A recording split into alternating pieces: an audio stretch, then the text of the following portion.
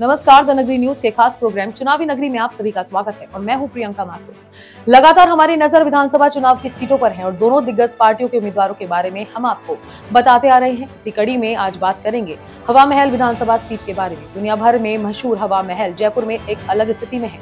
यहाँ की राजनीति में हवा महल विधानसभा, कांग्रेस और बीजेपी दोनों दलों के लिए खास है, क्योंकि इस सीट पर संख्या मुस्लिम वोटर्स की ज़्यादा है, पर जीत ब्राह्मण प्रत्याशी की होती आई है। बीजेपी ने यहाँ पर पिछले कई वर्षों में एक तरफा जीत दर्ज की है, लेकिन पिछली बार यहाँ कांग्रेस को जीत मिली थी। उसमें बस एक खास बात यह है कि वोटों का अंतर बहुत कम था। यहाँ से बीजेपी ने बाल मुकुंदाचार्य को चुनाव मैदान में उतारा है और वही कांग्रेस के कद्दावर नेता का टिकट यहाँ से काटा गया है। कांग्रेस ने अपना दाव खेला है आर आर तिवारी पर। अब पहले जान लेते हैं यहाँ के जातिगत समीकरण के बारे में। राजस्थान के जयपुर ज़िले की हवा महल विधानसभा सीट को मुस्लिम बाहुल्य माना जाता है, जिसमें तकरीबन नब्बे हज़ार से ज़्यादा मुस्लिम मतदाता हैं। यहाँ बड़ी संख्या में मुस्लिम मतदाता भी रहते हैं और उनका व्यवसाय भी है। ये वर्षों से चला आ रहा है, फिर भी इस सीट पर कोई भी मुस्लिम उम्मीदवार नहीं जीत पाया है। ऐसे में सीट पर चुनावी माहौल टाइट हो जाता है। हवा महल सीट पर ब्राह्मण वोटर्स की संख्या भी खूब है, इसलिए यहाँ से बीजेपी और कांग्रेस के लिए ब्राह्मण प्रत्याशी फिट रहते हैं। हवा महल में कुल वोटर्स की बात करें तो हवा महल में कुल वोटर्स दो लाख अड़तालीस हज़ार दो सौ पैंसठ है, जिनमें एक लाख इकतीस हज़ार तीन सौ छब्बीस पुरुष हैं और महिलाएँ एक लाख सोलह हज़ार नौ सौ उनचालीस है।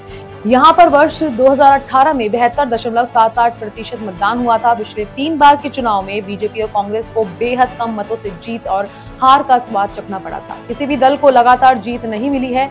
यहाँ पर शर्मा, पारिक और जोशी को जीत मिलती आई है। हवा महल एक सुप्रसिद्ध स्थान है। यहाँ पर घनी आबादी होने की वजह से कई जरूरतें बनी होती है। जैसे पीने का पानी, वायु प्रदूषण और ट्रैफ़िक की समस्या आम है। वर्तमान विधायक गहलोत सरकार में कैबिनेट मंत्री हैं। उन्हें भी भूजल विभाग दिया गया था। मगर यहाँ पर कब्रिस्तान का मुद्दा इस बार बहुत बड़ा हो गया था, जिसे लेकर यहाँ के विधायक को लोगों की नाराज़गी का सामना करना पड़ा था। अब अगर देखा जाए तो बीजेपी ने यहाँ पर हिंदुत्व कार्ड खेला है। बाल मुकुंदाचार्य महाराज अखिल भारतीय संत समाज राजस्थान के प्रमुख हैं, जहाँ उन्हें हिंदुओं के साथ अन्याय होता नज़र आता है तो वो तुरंत उसकी मदद करने पहुँच जाते हैं। वे ऊर्जावान होने के साथ काफ़ी सक्रिय संत हैं, जो आए दिन विभिन्न मामलों को लेकर आंदोलन करते रहे हैं।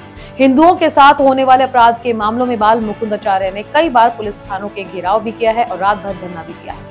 अब बात करें आर आर तिवारी की तो कुछ दिनों पहले उनको कांग्रेस का जयपुर शहर कांग्रेस अध्यक्ष बनाया गया था।